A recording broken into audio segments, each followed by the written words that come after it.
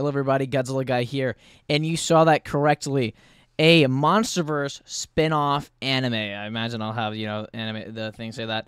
But, so this is pretty recent. Five hours ago, this was uploaded by Night Lizard 1564 over here on Instagram.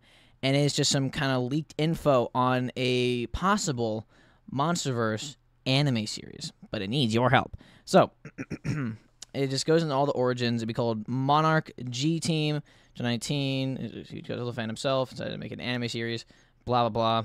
It's a spin off, so it's, it's not quite canon to the Monsterverse, I don't believe, but it is, you know, a spin off paying homage. Uh, is what makes it a fan. And we get some awesome, sorry for the, the, the absolute mic spam there, but look at this Biolante, like the size of a city. Firstly, they already have three seasons of it done. Bio, uh, that's what I've always said. I've always wanted to see Biolante because I don't like Heisei Bio at all. I, I really despise it. But I've always wanted to see Bio return, but like huge, like the size of a city. Like Godzilla has to watch where he steps. Like if he steps on a vine, it'll alert Bio where he is. Um, kind of like a spider, you know, like a spider web. And then Gigan, he looks so so good. I think I prefer this more than the Showa version. It has, you know, a little bit more edginess, but not to the absurd edginess of Final Wars Gigan that looks complete trash. This one looks sick. It still has the Showa colors. You can still very clearly tell it's Gigan, but you know he's more sickly and skinny, and, and his arms are very, very long instead of you know little claws from the past. And it pretty much goes into what you can do to help out. Series is distribution. It says that if the script are all ready to go on, the hopes that Legendary will pick this up. so yeah, we should really push this forward. So, um, everybody, you know, share this around. Uh, I've already reposted this. By the time you're seeing this, I've reposted on my story on Instagram. Yes, I have an Instagram. Um, a lot of people have messaged me thinking that someone fake. No, this is me right here. Um, so make sure to please, please spread this around.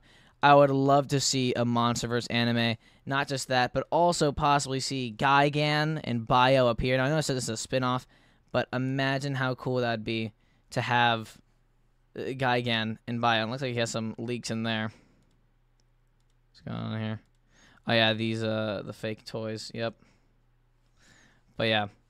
But I'm really pumped. I hope you guys are. So please share this around. We should we really really need to get Gigan in the MonsterVerse. It'd be awesome because then you know maybe Megalon soon too. Um, you guys know how much I, I love him, how much I poke him.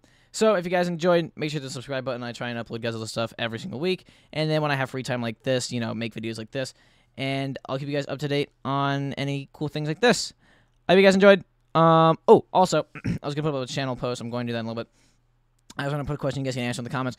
Do you guys think Tiamat, uh, the giant serpent that can uh, control water, has hydrokinesis, do you think Tiamat could control ice, so therefore counter Shimo? Let me know in the comments, because I think that'd be awesome. I- am not saying Tiamat can make ice like Shimo can, but, you know, what, could we could Tiamat control ice, you know, move it around? Because it's still water. It's just, solid. So, I hope you guys enjoyed. I'm to head out. Keep collecting, everybody. Goji Guy out. See ya.